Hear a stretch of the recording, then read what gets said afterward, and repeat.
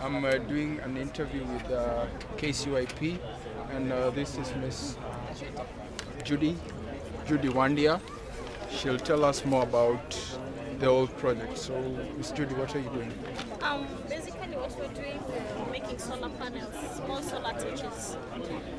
This is solar panel, these are the LEDs.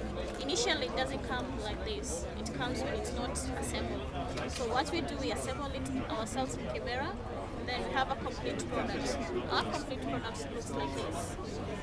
The box, get it from Kilifi, get it as a, as a, a block. Uh-huh. So we have to trim it, slice it into pieces, and then get this product. Okay, so what does it do? You can study with it, you can go to the bathroom with it, you can hang it in your house. Yeah. So, why should I use this and not a torch? Not a normal torch? It's the best because we are trying to promote renewable energy. That is why we're selling, we're trying to promote this. We're selling this to local people and international.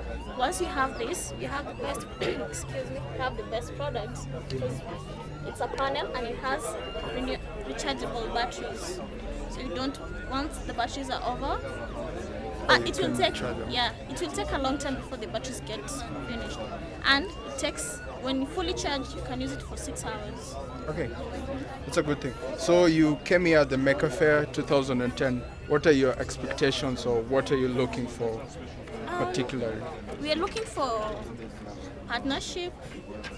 We're looking to sell our products and also make friends and also get more people to come join us in promoting renewable energy.